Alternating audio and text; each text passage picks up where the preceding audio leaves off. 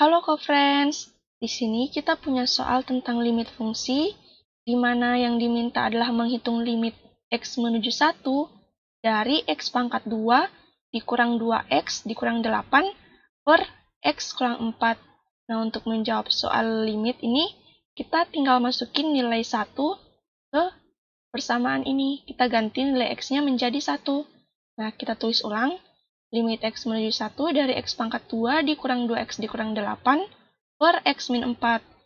Kita ganti x-nya menjadi 1, sehingga akan kita tuliskan lagi seperti ini. 1 kuadrat dikurang 2 kali 1 dikurang 8 per 1 min 4.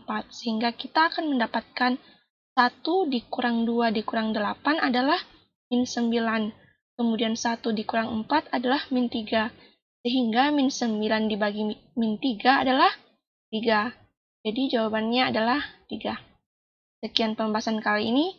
Sampai jumpa di pembahasan selanjutnya.